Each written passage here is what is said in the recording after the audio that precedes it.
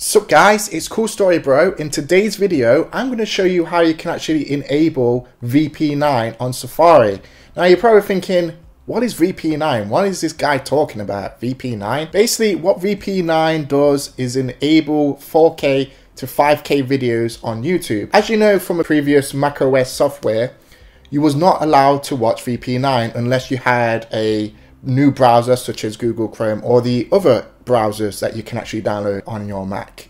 So wouldn't it be awesome to have it all in one? And today I'm going to show you how you can actually do that.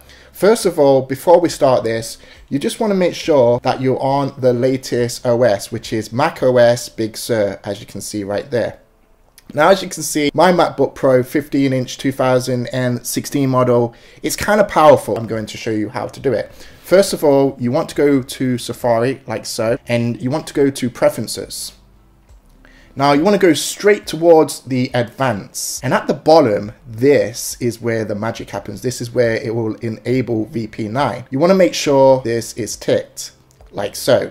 You want to exit this, we don't need this no more. So as you can see right now when you go to the top and it says Safari you can actually see a new menu.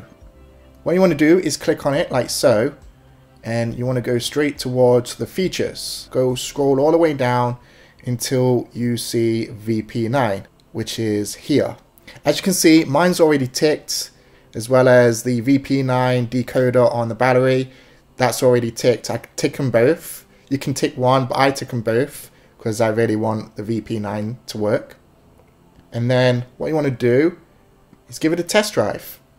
So as you can see, this is one of my videos which I'm actually doing a showcase on the new Grand Theft Auto motorcycle and normally it would say 1080p 60 fps but as you can see this is the full one I wanted which is 1440p 60 fps in HD so when I click on that it's running that resolution.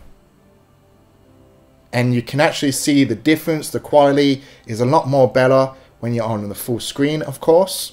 And you're probably thinking how do you know it's in VP9 decoder? What you want to do is right click like so and you want to go to statuses for nerds.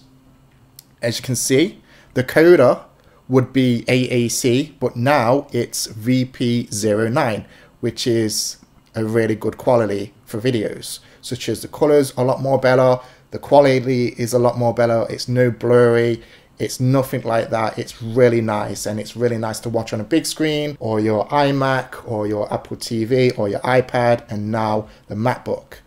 And that is how you get VP9 running on Safari. So you don't actually have to have Google Chrome or any other web browsers just to watch VP9 videos or 4K to 5K videos.